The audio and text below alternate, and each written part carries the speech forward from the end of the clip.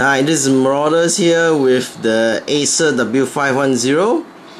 So today we're gonna have a look at the video performance, playback performance of the Acer W510 and in general we'll see how well the Intel Clover Trail is at performing video playback.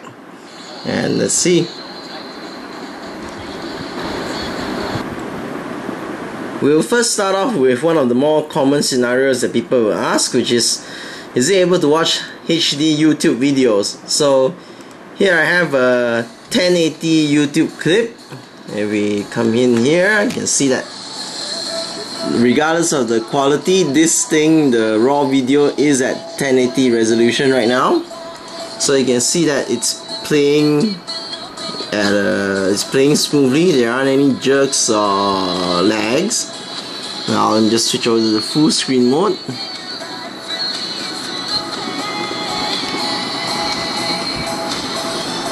And you can see it's still playing without any problems.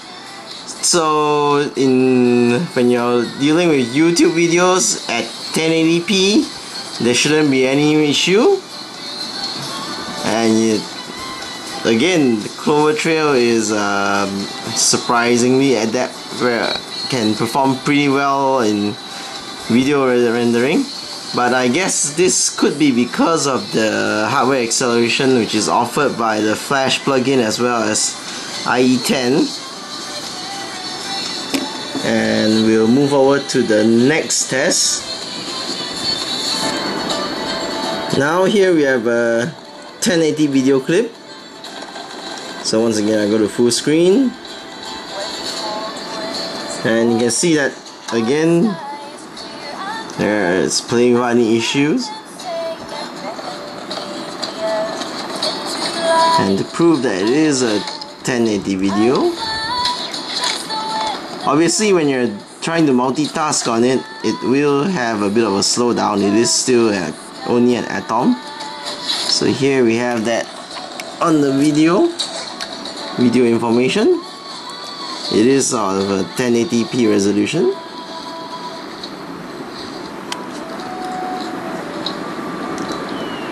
so no issues with 1080p viewing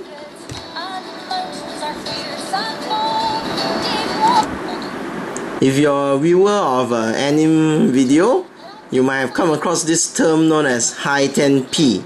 High 10p is essentially a higher quality profile of the H.264 video codec.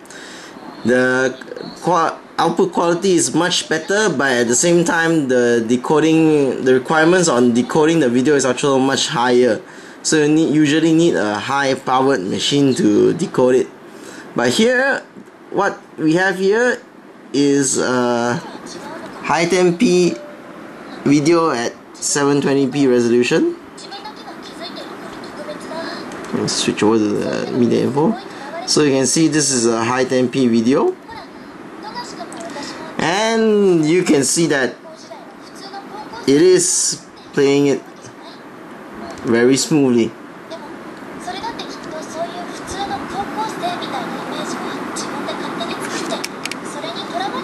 So as a media tablet, the W510 is actually quite capable and uh, the performance is quite surprising.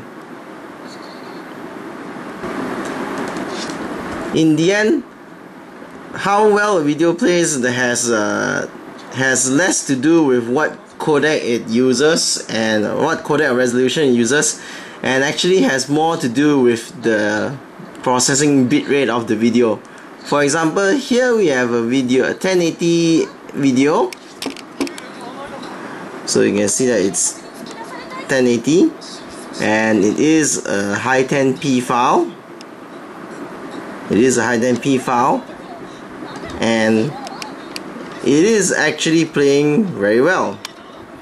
Now if we look at the video bitrate the bitrate of the actual data being processed you can see that normally it's actually pretty steady. Because there's not much due to encoding parameters there's not much happening on screen and thus the bitrate is actually quite low at 400 kbps but if there were a lot of things happening on screen for example during an anime's uh, notorious uh, opening sequence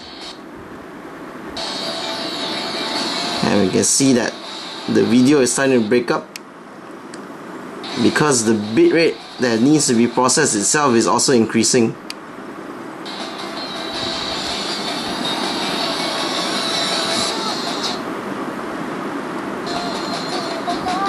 so you the you'll be okay with videos that have a normal normal flow during uh, in, in any normal sense of a picture. But if you have a lot of uh, moving if the scene changes rapidly and if there's noise in the picture well those are all things that contribute to a high bit rate and of course the atom isn't going to be able to keep up. But in general it, you should be fine watching most of most videos.